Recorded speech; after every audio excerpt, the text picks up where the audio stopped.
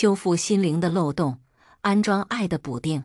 大家好，欢迎来到心灵回收站。我检查出怀孕当天，刚好撞见老公陪白月光产检。我今晚有事，不回去了。齐艳里淡淡说一句，揽着柳曼离开。我沉默一瞬，约了堕胎。人人以为我是齐艳里的舔狗，任他对我再冷漠刻薄，我也不会离开。连他也这么想，可他们不知道，我只为报恩。如今十年之约已到，我终于可以结束这场畸形婚姻了。孕四周，恭喜你！我经期推迟一周，来医院做检查，却被告知怀孕一个月。这个孩子来得太意外。我走出医生办公室，站在走廊里，摸着小腹发呆，犹豫要不要。我体质不好。打掉可能以后都不会再怀孕。人群突然有些骚乱。哇，那是刘影后跟她男友吧？好配，她每次产检，他都陪着，真恩爱呀！爸爸妈妈颜值都这么高，孩子得多好看呢！我下意识朝人群里看去，一眼就瞧见了齐艳里跟柳曼。他拉着她炒作情侣近七年，人人都以为他们是一对。先前情人节。我们三个一起出去吃饭，被狗仔拍到，一群网友骂我心机绿茶不要脸。殊不知，我才是齐艳里的妻子。我不想留在这里，免得难堪。柳曼却喊住了我：“季子瑜，你怎么在这里？该不是故意跟踪我跟阿里吧？难为他了。我裹得这么严实，躲过了狗仔，都没能躲过他。”我还未回答，齐艳里眉头微皱。已经给我定了罪，仅此一次，下不为例。听见跟踪字眼，周围人目光异样盯着我，好像我是什么恶意插足的第三者。这不是我头一次面对这样的场景了，可每次都如鲠在喉。齐艳里却压根没有替我解围的意思，带着柳曼去了采血室。也对他怎么舍得说出我是他妻子的真相，让他白月光被指责。好笑的是，我刚刚竟然还真考虑要不要留下这个孩子。就这种寡薄良情的人，能有什么好基因？孩子生下来，别再跟他爹一样，天天给我气受。我现场挂号去堕胎，回去路上就给律师打电话，离婚协议书你好就赶紧送过来。可是齐总婚内出轨的证据还不够充分。如果能拿到柳曼羊水穿刺的结果，证明那个孩子跟其总有亲子关系，您能分到更多财产，我也觉得可惜。算了，一半就一半吧。这场全靠我当忍者神龟的婚姻，多继续一天对我来说都是折磨。相比起来，我宁愿少拿些钱。我身体不舒服，急着回去休息，谁知我才到家没多久。齐艳里回来了，他总是冷冷淡淡的模样，做什么事情都很淡定，好像没任何事情可以掀起他的情绪。可这次却是跑着回来的，眼底都充斥着红血丝。齐艳里攥着我的手，我看见热搜了，他力气太大了，攥得我手疼。我抽出手，看见就看见呗。热搜我没看，估摸着又是柳曼团队买的。夸齐艳里对他有多宠多宠，然后就是骂我没有自知之明，想倒贴齐艳里。这种事也不是一次两次了。柳曼粉丝没少逮着我骂小三，齐艳里情绪却很激动，每个字都像是从喉咙里挤出来的。热搜上说你今天是去医院打胎，原来齐艳里跟我说的不是一回事啊！我不懂他有什么好生气的。对，齐艳里似乎想发脾气，但是忍住了。这次颁奖让你受委屈了，可你不该拿孩子赌气。一说这个，我就生气。我入行八年，影后提名五次，好不容易这次影后定我了，他却帮柳曼截胡，我还因此被柳曼粉丝嘲笑小丑，被网友们戏称陪跑专业户。没赌气，就是觉得我们反正要离婚。孩子没必要留，离婚协议我已经找人拟好了，明天律师送来后，麻烦你签一下。齐艳里在我跟前本就脾气不好，此时耐心早已告罄，只是因为一个影后奖，不至于闹成这样。你想要，大不了下一年给你。其他的事，等你冷静后再说。就算我打胎，还说要离婚，他也压根没想过道歉认错，拿着车钥匙就走了，就像往常一样。不管我受了多大的委屈，他只会扔下我。让我自己消化，反正要不了多久，我就会屁颠颠过去跟他求和。可他不知道，这次不会了。我从小父母双亡，跟姐姐相依为命。后来姐姐得肾病，齐艳里妈妈给她拿了手术费，还资助我上学。我感激她，为报她的恩，才答应她在学校监督齐艳里学习，在她失恋后陪着她。跟他结婚，齐艳里妈妈说：“如果十年后我还是对他没感情，那他不会再强求。”现在期限到了，第二天一早，律师就把离婚协议书拿来了。我给齐艳里打电话，没人接，我干脆把电子版协议书给他发过去，看一下。如果没问题，你回来签一下。消息发过去，显示红色感叹号。他又把我给删了。只要他不高兴，就算是他的错，我也得千方百计去哄他。他早就习惯了我以他为中心，真烦人呐！还好能离婚，不用接着忍了。我很庆幸。可是，一连三天，齐艳里都没回家，倒是高调陪着柳曼逛商场、走红毯，上了几次热搜。网上都说他们好事将近。第四天。我没耐心再耗下去，去他生日宴上堵他。齐宴里生日宴只邀请了他跟柳曼的朋友，在他名下一栋别墅里办的。我推门进去，所有人朝我看了过来。柳曼先忍不住，扑哧一声笑出声，这就坐不住了。其他人跟着冷嘲热讽。听曼曼说，季子瑜拿离婚逼齐总，想让他给他几个好资源。可齐总压根不理他，李哥才不吃那一套。他这是怕李哥真跟他离婚，迫不及待追过来求和了吧？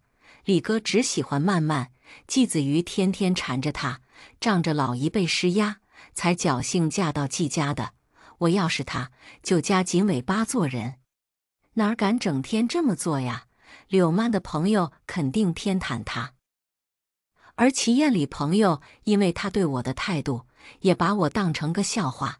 我不喜欢浪费口舌，只问他们：“齐宴里人呢？谁允许你来这里的？”身后传来齐宴里冷硬的声音。很快，他走到了柳曼身边。有人发出嘘声，在场的人都等着看我笑话。我没理会他们，对齐宴里说：“我有事跟你说。他是星辰娱乐老板，闹出丑闻会影响公司市值。”我也是公司大股东，不愿意跟他闹得太难看，想跟他私下谈。可齐艳里却压根没打算给过我体面。有什么事你可以直接说，如果是闹离婚又后悔想求和，就不用说了。我可以答应你不离婚，不过这是我最后一次忍受你无理取闹，给脸不要脸，还给他什么脸？我字典里没后悔两个字。我从包里拿出离婚协议书，递到他跟前，签了。齐艳里没接，只沉着脸盯着我。等我签了，然后你在离婚冷静期再作妖。季子瑜，我没空跟你玩过家家，我真心烦他这自以为是的样子。你放心，你的一切猜测都是在我喜欢你的基础上。可我从高中到现在一直缠着你。只是为了报妈的恩，现在我答应他的十年期限到了，绝对不会再跟你有半分牵扯。你烦我，我也挺烦你跟柳曼的。真的，你婚内出轨，还对妻子冷暴力，我是真喜欢不来。我以为我实话实说，齐艳里会立刻签字，毕竟他喜欢的是柳曼，不止一次说过厌烦我这个妻子。可我每说一句话。他脸色就难看几分，像是不敢置信，又像是恐慌与焦躁，到最后目光像是要吃人。齐艳里接过离婚协议书，撕了个粉碎，转身就往外走。他人高腿长，走得又快，我追不上，也压根没想过追。拿着手机给他发短信：“我在家里等你，如果两个小时内你没回来，我会安排律师起诉离婚。因为起诉离婚所导致的一切后果，你自己承担。他跟柳曼搞婚外情的事情曝光，我倒是能洗白。可我是星辰娱乐大股东，他们一个是公司总裁，一个是公司签约艺人。”他们深陷丑闻，会给我带来巨大经济损失，这也是我这些年忍耐他们的原因之一。我看了眼时间，开车回家。一个小时后，齐艳里才回来，面无表情坐在沙发上，也不说话。这是我重新打印的离婚协议书，我递过去，齐艳里接过，面色更沉。协议书被他攥得变形。见状。我声音也跟着冷下来。齐艳里，我耐心有限，你要是敢撕第二次，我们就直接法庭上见。齐艳里停顿了一下，把离婚协议书扔在桌子上。他盯着我，我从没想过离婚。听此，我忍不住嗤笑。可我天天盼离婚，毫不夸张地说，我做梦都是跟他离婚。这都快成我心结了。齐艳里喉结滚了滚。眸色晦暗不明，似在极力忍耐。我平时在他跟前逆来顺受，他压根受不了我这种态度。齐艳里手指在茶几上敲了敲。星辰娱乐正准备上市，这时候爆出我们离婚，对公司不利。只要你不离婚，我可以分你百分之五股份。我懒洋洋打了个哈欠。上市的事少说还得两三年，我等不了。那百分之五股份注定与我无缘，你就这么迫不及待想离婚吗？对，齐艳里像是受到了羞辱，眸底隐约带着哀伤跟愤愤。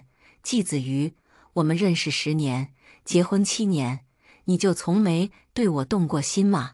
你之前表现的那么喜欢我，都是装的。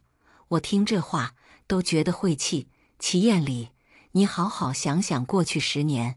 如果你是我，你会喜欢上你自己吗？齐艳里脸上青白红交替，扔下一句：“我要找律师重新看下离婚协议书。”仓皇离开。我觉得，但凡他要点脸，就会按我要求在离婚协议书上签字。我们十八岁认识，那时我是转学生，他是学校学霸。齐艳里跟校花柳曼的爱情轰轰烈烈。他成绩吊车尾，根本考不上大学，家里又穷，他准备靠自己的脸去当网红。可他一个人担心被坑，让齐艳里陪他一起去。齐艳里很小的时候，父亲就去世了，他母亲改嫁有钱人，他被扔给奶奶。奶奶去世后，他就一个人生活，成长环境让他很缺爱，想要紧紧抓住每个他爱的人。再加上年纪小，齐艳里头脑一热，选择辍学去当柳曼助理。结果他傍上榜一大哥，把他给踹了。他几次求复合，都被拒绝，还被多次嘲讽。后来回到学校，齐艳里也无心学习，成绩一落千里，脾气还变得很差。我按他妈要求，天天给他送饭，监督他好好吃饭。还要帮他辅导成绩，他不止一次嘲讽我，把保温桶扔进垃圾桶里，同学们都笑我舔狗。可我始终追在齐艳里身后。大三那年，柳曼从女网红转型女星，首部参演的一部网剧爆火，有人扒出她跟齐艳里的恋情，她被她的粉丝们嘲讽，说她这样的穷鬼根本高攀不上她。那段时间。齐艳里闷闷不乐，有抑郁症复发迹象。后来，他决定去混娱乐圈，我成了他名下唯一艺人。为了火，我想方设法蹭流量，被网友们骂出花。为拿一个角色，饭局上喝酒喝到胃出血，也是运气好，真拼出一条路。齐艳里跟我表白求婚，他妈担心他被拒绝会抑郁症复发，让我答应。我也没喜欢的人，索性答应了。可星辰娱乐发展起来后，柳曼重新找上齐艳礼，他竟然跟他又搞到了一起，从头到尾没尊重过我这个妻子。这样一个人，即便他英俊多金，我也不可能对他动心。就算有那么丁点火花冒出，也会很快被他亲手掐灭。那份离婚协议书绝对公平。我以为齐艳里很快就会来找我签字。他确实在一天后就联系了我，却把我带到了医院。齐艳里妈妈躺在病床上，瘦的已经成了皮包骨，气色看起来也不太好。眼看着她变成现在这样，我却无能为力，心里说不出的难过。他跟我聊了聊我主演的电视，又问我姐姐现在的情况，最后才说：“子瑜，我胃癌晚期，活不了多久了。”死前我最放心不下的还是阿里，他这样的性子，也就你留在他身边，我才能放心。你可以继续陪着他吗？我是个知恩图报的人，不然不会死皮赖脸跟在齐艳里身后十年。可懂得感恩，不代表我傻。妈，人这辈子有几个十年呢？就算你对我再大的恩情，我这些年也该报完了。我呢，知恩图报。你也得懂适可而止，您觉得呢？婆婆叹息一声，沉默许久，她才神情复杂开口：“你们这么多年感情，你看能不能给他一个机会？我已经跟他谈过了，星辰娱乐会跟柳曼解约，他以后影响不到你们。你……我抬手打断，当妈的果然还是偏袒自己儿子啊！话不投机半句多，我先告辞了，他的恩情。”我早就还完了，剩下人生是我自己的。我转身就走。齐艳里签字还是起诉？你选一个。齐艳里跟了出来，夺过离婚协议书签字，笔锋重的似要撕裂那层纸。季子瑜，但愿你别后悔。当然不会。一个月后，民政局见。我伸手接，齐艳里却紧攥着协议书不松手。他直勾勾看着我。不甘道，公司上市分到的财产能翻十倍，你却执意这时候离婚，不像你的性格。你是爱上别人了吗？是影帝江锦，还是那个歌手苏恒？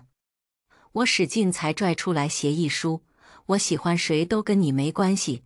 要不是他跟柳曼太恶心人，我至于放着钱不要？我无视他的黑脸，哼着歌离开。离婚协议书签完后，齐艳里跟柳曼愈发高调。今天生日宴上送跑车，明天拍卖会几千万拍珠宝，网上都是在夸齐艳里宠妻，羡慕柳曼的。反正财产分完了，跟我没关系。就是齐艳里跟精神病似的，跟人谈合作，非叫上我，我又不能不去。他喝醉后还把我堵在走廊。纠缠不清，一个劲儿问我到底喜欢江锦还是苏恒，到底什么时候出轨的？最糟糕的是，狗仔还拍下我俩照片发到了网上。柳曼粉丝追着我骂，趁齐总喝醉想要办坏事，臭鱼能不能要点脸？齐总跟曼曼有孩子都要结婚了，臭鱼还来这一出？臭鱼滚出娱乐圈！臭鱼滚呐！什么都得跟曼曼抢，不撒泡尿看看自己什么德行，这还算好听的。其他的大生理器官以及咒骂我祖宗十八代的文字，每个字都在侮辱人的眼睛。我给齐艳里打电话，还有一个月，我们离婚证就下来了。到时候你跟柳曼再秀恩爱也不迟。他们越是秀恩爱，柳曼那些粉丝骂我骂得越狠。没人乐意被那么骂。齐艳里声音冷冷的：“我们都要离婚了，你好像没资格管我跟谁在一起。不过你要是后悔，我们还可以去民政局取消离婚申请。但是，你以后必须跟江锦、苏恒保持距离。”我气笑了：“齐艳里，你该不会以为我脾气真的很好吧？装乖装久了，他还真以为我好欺负了。我挂电话，给经纪人打电话，两个小时后召开记者招待会。我早就安排好了，就等你这句话。经纪人兴奋的不行，带团队过来给我做妆造。他这些年来跟着我，没少受委屈。我给他转去一百万，当是精神损失费。记者招待会开始，除了那些记者，好多柳曼的粉丝来了，冲着我叫骂：“小三，臭不要脸！”齐总喜欢的是曼曼，你算什么东西？保安想把人赶出去，我抬手拦住了，微笑道：“我，我算不了什么，顶多就是算齐艳里法律意义上的妻子而已。”我拿出结婚证，放在镜头前，所有人震惊住了。包括柳曼的粉丝，我继续道：“今天辛苦各位记者朋友们过来，大家也帮我做个见证。我嫁给齐艳里七年，他出轨柳曼七年，我忍不了，不忍了。我已经跟齐艳里签订离婚协议书，决定与星辰娱乐解约。另外，柳曼雇佣水军对我侮辱诽谤，多名网友对我进行言语辱骂、造谣。”我的律师已经收集好相关证据，将逐一进行起诉。我心眼小，欺负过我的人，我可一个都没打算放过。记者招待会结束，网上炸开锅。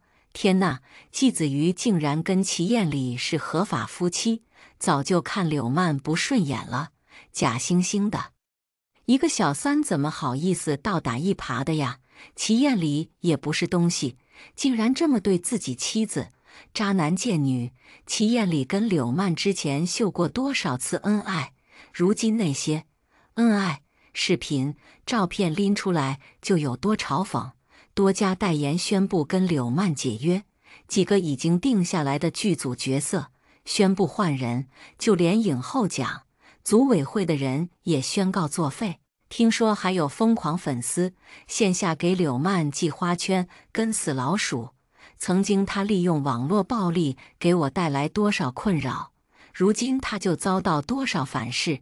柳曼给我打电话，歇斯底里指责：“你这样在外面胡说八道，我的商业价值降低，阿里名声变臭，公司别说上市了，连如今的价值都保不了。”你作为股东，利益也会受损。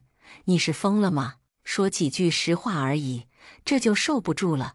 找你的阿里帮你撤热搜啊，就是吧？他这会儿可能顾不上管你。季子瑜，我又不聋，小声点，情绪别这么激动。气流产了，责任可不在我。我挂掉柳曼的电话没多久，齐艳里就沉着脸找来了家里。齐艳里面无表情盯着我，伤敌一千，自损八百。你恋爱后智商也降低了吗？就为了江锦、苏恒，损失近十个亿，你脑子被狗吃了吗？我挑挑眉，看来齐总情报水平不行啊。我股份已经卖出去了，损失的人只有你，可不包括我。早在三天前，他忙着陪柳曼四处秀恩爱的时候。我就让姐姐席西柔把股份卖给了第二股东刘东。我跟姐姐一个随母姓，一个随父姓，压根没人会联想到我们的关系，因为我走的黑红路线，担心影响到公司。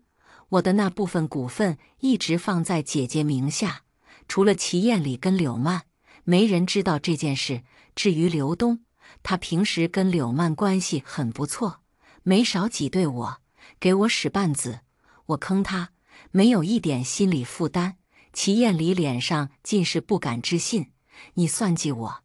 怎么就准你算计我？恶心我？不准我反击吗？别搞得自己像个受害者一样，看着反胃。我给过他跟柳曼很多次机会，是他们欺人太甚。反正恩已经报完了，我才懒得跟这种脑子进水的人掰扯。把他赶了出去。签离婚协议书的时候，我要了这处房产，但齐艳里老来这里找我，还挺烦的。我干脆搬去新住处。几个至交好友约好了，一起来找我。你跟齐艳里隐婚都不告诉我们，真有你的！让小三在你头上蹦跶七年，忍者神龟呀！别说这些糟心事了。恭喜子瑜脱离苦海，他们说着替我庆祝。可我刚堕胎，得吃清淡的。他们在我跟前胡吃海塞，看得我止不住咽口水。只觉得找了一群仇人过来。影帝江锦对外人设高冷酷拽、高智商，他粉丝们都以为他跟他演的大反派一样，足智多谋、运筹帷幄。实际上，这人贪玩又很呆。我们凑到一起，最爱逗他玩。苏恒性子本来就混，知道他酒量不好，还故意哄他喝酒。江锦才被灌了一杯酒就醉了，瘫软在地上。抱着我大腿发酒疯，小鱼，你别晃啊，晃得我头晕。你带我打游戏呀？我打了十个赛季都没上王者，我玩妲己不会蹲草。他们骂我，我骂不过他们。江锦越说越委屈，到后面眼里都闪着泪光，把苏恒他们笑得不行。我没空笑，我得拽裤子。不然得被江锦拽下去。江锦经纪人愁得不行，找五个助理看着他，我都安不下心，就怕他哪天人设崩了。早知道他这德行，我哪会给他弄什么高冷人设呀？谁说不是呢？怪就怪这人实在太大了，又长了一张冷漠脸，看起来太有迷惑性。一群人闹腾了一会儿，就陆续走了。他们一个个忙得很，来我这儿待一会儿。都是好不容易挤出的时间。苏恒临走前悄咪咪跟我说：“好妹妹，我可从你刚出道就罩着你，你跳槽优先考虑我们公司啊。”我哥说了，只要你肯来，江锦许诺给你的分成，我们可以高一个百分点。他哥就是他公司老板，他算是超级富二代。好。我考虑考虑，送走他们后，我瘫在沙发上看电视。这些年忙着帮齐艳里实现梦想，我已经很久没这么悠闲过了。大半个月过去，星辰娱乐一直在热搜上。反正近几年别想上市了，老实说挺可惜的。要是上市了，我可以拿更多。距离离婚冷静期期满差两天，齐艳里约我见面。齐艳里这段时间忙得焦头烂额，眼下发青，胡子拉碴，人都瘦了一圈，看起来比他被柳曼甩那会儿还落魄。休息一个多月，身体好些了吗？齐艳里问我。我端起茶水抿了一口。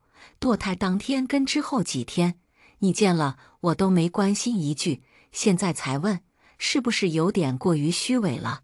我只是很期盼那个孩子的到来，你都没跟我商量就打掉他，我没办法不怪你，你又不缺孩子，也不至于在意这个吧？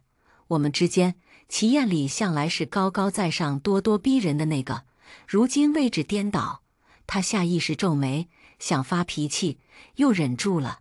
齐艳里有些别扭的解释：“柳曼肚子里孩子不是我的，我跟他从来没有亲密接触过。”我欣赏着新做的美甲，漫不经心接话：“我知道呀，他之前给了你那么多难堪，你不可能毫无芥蒂接纳他。你喜欢看他绞尽脑汁讨好你的样子，这也是你签约他的初衷。当然，你还还顺便给他画大饼，哄他牺牲美色陪那些大佬，为公司拉资源。你想物尽其用后，再把他做的事捅出去。”让他跌落谷底，这是你对他的报复。至于你允许他拉着你炒作，还纵容他欺负我，也是因为我跟苏恒、江锦都传过绯闻。你觉得我给你戴了绿帽子，心有不甘，所以借着他把这份侮辱还给我。而且公司早就不用靠我养活了，你可以借着那些流言蜚语逼我退圈，这样我不用跟其他男人接触。你才有安全感，是吧？齐艳里，认识他这么多年，我很清楚他是什么人。他拿到那么多资源，都是靠柳曼陪睡，所以江锦跟苏恒给我资源，他理所当然认为我也出卖了身体。可他不知道，不止他们，还有很多女明星跟女老板也会给我资源，因为他们能看到我身上的价值，而不像他一样觉得女人只能靠一身皮囊。齐艳里听着我这些话，神色几次变换，最后他才哑声道：“既然你知道，没必要跟我离婚。我从没出轨，也没想过跟你离婚。”我翻了个白眼。你该不会以为男女离婚只有出轨这个原因吧？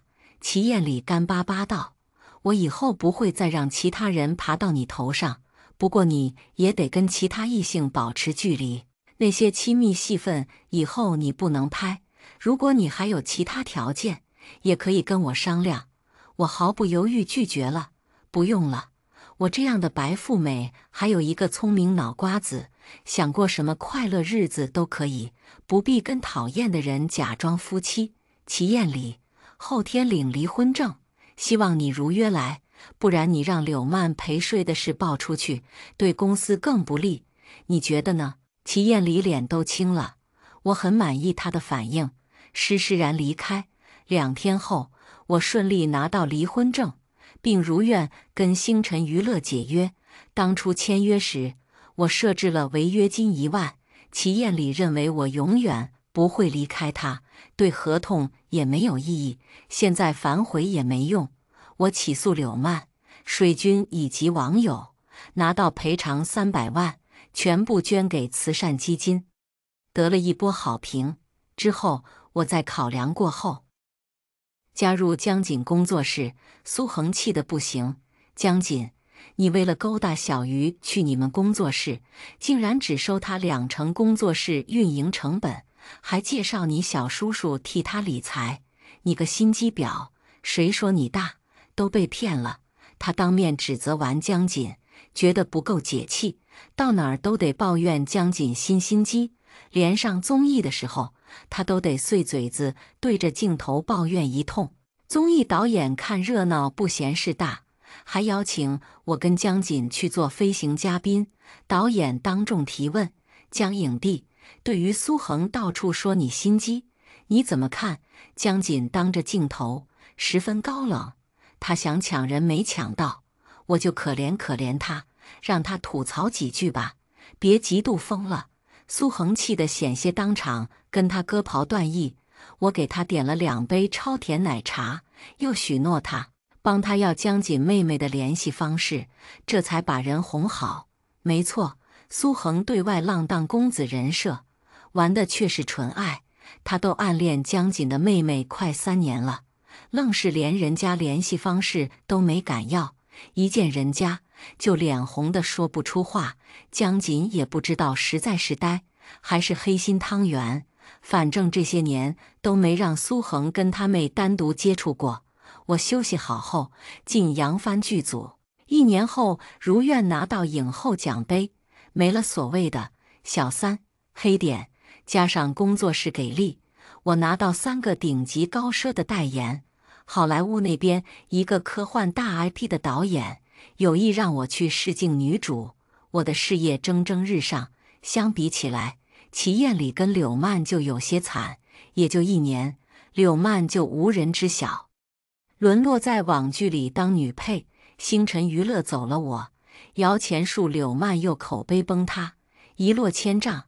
齐艳里之前还雄心壮志想要上市，现在连维持原状都难。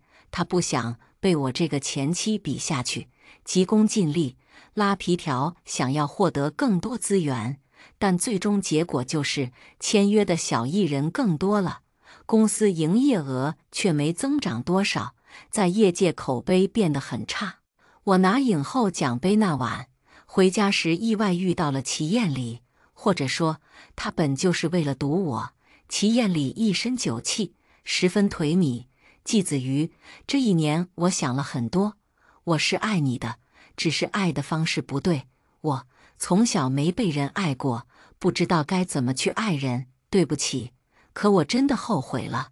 向来桀骜的人，此刻却在我身前低下头颅。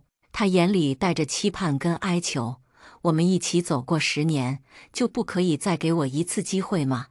我同情地递给他一张纸巾，回去吧，天凉。然后跟助理说说笑笑回了家，将他关在门外。任何理由都不足以成为伤害别人的理由。他也不是后悔了，只是失败了。如果他带着星辰娱乐成功上市，他只会嘲笑我目光短浅、鼠目寸光，然后我就只是他生命里最不值一提的一部分，像柳曼一样。还好，我从来不会寄希望于旁人，我就是我自己的底气。下面我们来听第二个故事。当众错喊英俊老板老公后，他竟耳尖通红，问我：“你缺不缺老公？”和谈了七年的男朋友分手后，我约闺蜜去酒吧买醉，谁知第二天早上醒来时已是中午。我心急忙慌的赶紧起床洗漱，然后打车去公司。谁知在公司楼底下，我却意外撞见前男友，他不停纠缠我。就在这时，突然有个英俊帅气的男人从我身旁经过。为了摆脱前男友的纠缠。我冲着男人喊了一声“老公”，男人笑着回头，我才发现是自己的老板，他竟耳尖通红。下班后，他把我叫去办公室，问我：“你缺不缺老公？”何冰再三考虑后，决定和相恋七年前男友顾少轩分了手。很多朋友很不理解他的这一行为，但只有他们两人知道缘由。何冰是个眼睛里容不下沙子的女人，所以她对自己的另一半要求极高。可顾少轩的做法却令她感到很失望。他们俩是校园情侣，一起走过了七年，本已到了谈婚论嫁的年龄。谁知就在双方父母见面商谈好他们俩的婚事时，何冰意外撞见顾少轩背叛了自己。得知自己心爱的男人背叛自己。何冰心都碎了，回想起他们的过往，何冰痛苦万分。为了早日能从上一段失败的感情中走出来，何冰一连好几天都喝得烂醉如泥。顾少轩不想轻易放弃何冰，竟厚颜无耻地不停纠缠他、骚扰他。为了让何冰回心转意，顾少轩甚至采用苦肉计。他一边在不停挽回何冰。一边又和另外一个女人藕断丝连，何冰知道后，对他也彻底死了心。为了躲避顾少轩的纠缠，何冰搬了家，同时以家里有事要处理为由，向公司领导请了半个月的假，然后出去旅游散心。原以为这样做就能摆脱顾少轩的纠缠，谁知何冰刚回来上班没多久，顾少轩就找上门来。大吵大闹，见何冰不为所动，顾少轩竟当众指责起何冰来。他说：“冰儿，你也别怪我做对不起你的事。谁知你经常把事业看得比我还更重要。我也是男人，也有正常的生理需求。我只不过是犯了天下男人都会犯的错罢了。你能不能不要一直不依不饶的？”何冰听了顾少轩的一番话，气不打一处来。他深知他不但不知悔改，还反倒打一耙，这是他最不能容忍的事。于是他便把顾少轩赶了出去，一个人坐在地板上痛哭了起来。他后悔爱上顾少轩，他跟自己优柔寡断，所以才让事情变得这么糟糕。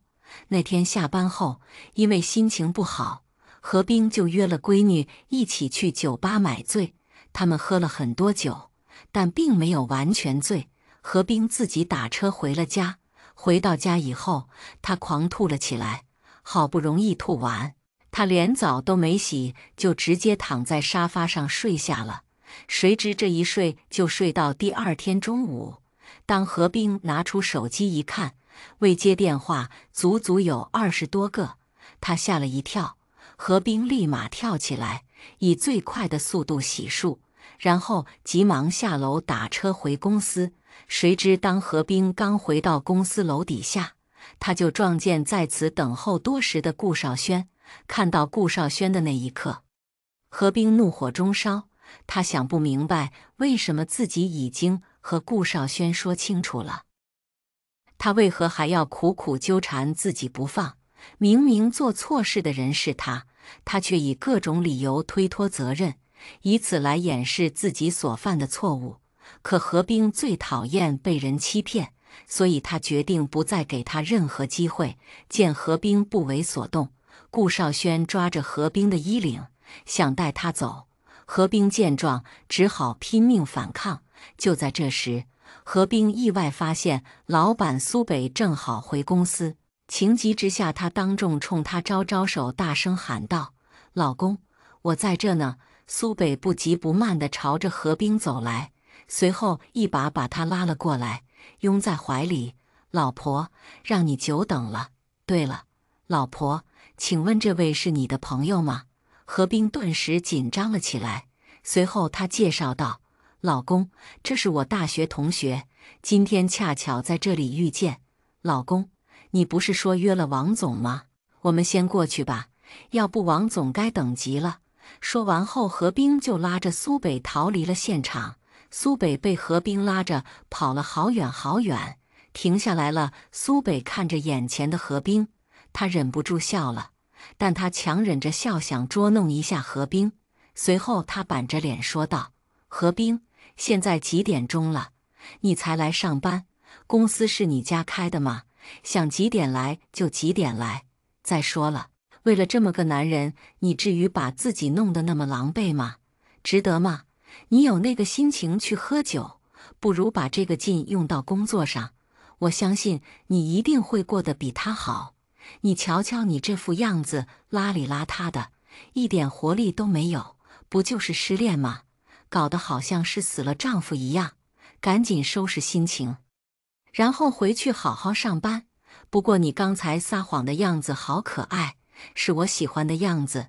说完后，苏北突然把何冰拥入怀里，微笑着说道：“我什么时候成了你老公了？我不介意你叫我一声老公。”突如其来的一幕让何冰吓傻了，他红着脸说道：“苏总，对不起，我我。”说完后，何冰挣脱苏北，头也不回的走了。回到公司，同事小柯偷偷问何冰：“冰冰，你怎么回事？今天回公司那么晚？我跟你说，早上大家都联系不上你，王总在没有看到企划书的情况下生气走了。为此，苏总发了很大火。你今天做事小心点，千万别再惹苏总生气呀，否则……其实，就算小柯不告诉何冰。”他也知道自己饮酒误事，害得公司损失了几百万的合作。他深知苏总的脾气，所以一整天他的情绪都很低落，生怕自己被苏总叫去办公室斥责。可毕竟是自己的问题，导致公司损失那么大，就算被老板斥责。他觉得是理所当然的事。下班后，同事们都陆陆续续离开了公司。下午因为心情不好，所以何冰手头上的工作并没有做完，于是他便打算留下来加班。他心想，与其在家胡思乱想，还不如把所有心思投入到工作中，让自己没空乱想。或许这样自己也能开心一点。好不容易把手头上的工作做完，何冰看了一下手机，已是晚上九点多钟了。他突然发现肚子已经饿得咕咕响。何冰立马收拾东西，准备下班回家。就在这时，门外突然传来一阵阵脚步声。还没等何冰反应过来，苏北突然拎着一些食物走了进来。肚子饿坏了吧？我只是说说而已，你还当真了？不管怎样，也不要委屈自己的肚子，毕竟身体是革命的本钱嘛。来来来，一起吃点东西吧，别到时又说胃痛回不来上班，这样传出去，人家还还以为我是一个像周扒皮一样刻薄的老板呢。何冰站在原地，有些不知所措。就在他不知该如何是好的时候。苏北突然走过来，拉着他的手往自己的办公室走去。一进办公室，苏北一把把何冰拥入自己的怀里，一边抚摸着何冰的头发，一边宠溺地看着何冰。本人苏北今年三十五岁，单身，缺个老婆，美女，请问你缺不缺老公？”何冰羞红了脸，靠在苏北的怀里不敢吱声。他找借口想离开，可却被苏北紧紧抱住。他想逃，却始终逃不掉。苏总，你是说笑的吧？我和你不是一路人，我配不上你，我们是绝对不可能的。再说了，难道你不在乎我的过去吗？以你的条件，你要找什么样的女人都可以，何必来招惹我呢？如果你想玩，麻烦你另找他人。我不是那种随便的女人。我觉得感情不应该只是玩玩而已，不以结婚为目的的恋爱都是耍流氓。说罢，何冰挣脱苏北的怀抱，夺门而出。苏北懵了，所以他并没有追出去。那天晚上，苏北和何冰都失眠了。苏北长相帅气且多金，是很多女孩子爱慕的对象。何冰就是其中一个。可不管是家境还是学历，何冰都不能和苏北相提并论。苏北高不可攀，哪能随意听信他的随口说的话呢？从那以后起，苏北似乎有意接近何冰。当他知道顾少轩还在纠缠何冰时，他亲自去找顾少轩谈判，最后给了顾少轩五十万块钱，以此了结顾少轩和何冰之间的所有牵扯。随后，苏北以何冰的人身安全为由，让他把原先租住的房子退掉，然后搬去他朋友的公寓里住。每天，苏北都会提前起床，然后给何冰买早餐，然后再一起回公司。苏北表示，他不介意何冰的过去，毕竟每个人都有属于自己的过去。怪就怪他晚一步认识何冰。面对苏北的种种示好。何冰心乱如麻，毕竟他和苏北的生活圈子并不统一，他害怕到最后自己再次受到伤害。看到何冰犹豫不决，苏北决定主动出击。下班后，他主动发信息给何冰：“等下在停车场等我，我有事跟你说。”何冰本想找个借口搪塞过去，谁知苏北又发来了一条信息：“不许爽约。”否则后果自负。无可奈何的何冰只好乖乖去了停车场等候苏北。不一会儿，一辆黑色的奔驰停在何冰身旁。快上车，我带去走走。何冰还没反应过来，他就被苏北拽上了车。苏总，你找我有什么事？我等下还有事呢。何冰闷闷不乐地说道：“去了你就知道了。”我怎么能让我老婆受委屈呢？我老婆不开心，我也不开心。我可不想让我漂亮的老婆一直不开心，我会心疼的。苏北笑着说道。苏北把何冰带到了一处海滩，说道：“我对你是真心的。其实从你进公司的第一天，我就喜欢上你了。只是之前你有男朋友，我不敢接近你。现在好了，你我都是单身。”我们有自由恋爱的资格。或许你会觉得我这个人不可靠，但我希望你能给我一次机会，我会证明我是真心爱你的。你不用介意别人的眼光或者是流言蜚语。我觉得只要我们真心相爱，就一定能走到最后。面对突如其来的表白，何冰有些不知所措。苏北见状，立马把他拥入怀里，然后亲吻着他。何冰觉得有些委屈，他挣脱苏北，然后瘫坐在地上，失声痛哭了起来。毕竟自己曾深深爱过，可到头来却被伤得遍体鳞伤。他不敢再轻易相信爱情，他害怕再次失去，害怕被抛弃。苏北明白他的心理，他决定用自己的爱去慢慢感化何冰。在他的一再要求下。何冰搬过去跟他同吃同住，为了不让何冰有心理压力，苏北让他辞掉工作，然后再把他介绍去朋友的公司上班。两人过起了同居，但暂时只是室友关系。